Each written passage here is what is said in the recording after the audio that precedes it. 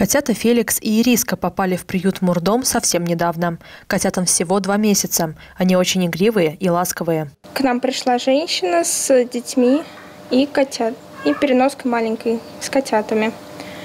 Она рассказала о том, что поймала этих котят и просила их забрать. Ириска еще не до конца социализирована, поэтому проводит больше времени в клетке. Тем не менее, котят очень полюбили дети, которые приходят в приют. Они с удовольствием гладят пушистых питомцев. У них скоро, буквально на днях, э, первая вакцинация, и после этого можно будет их уже забирать. Соответственно, без э, самовыгула и стерилизации и кастрации по времени, возрасту. Выбрать себе пушистого друга и забрать его домой может любой желающий. По всем вопросам обращайтесь по телефону 8 908 762 09 51 или пишите в группу приюта Мурдом ВКонтакте.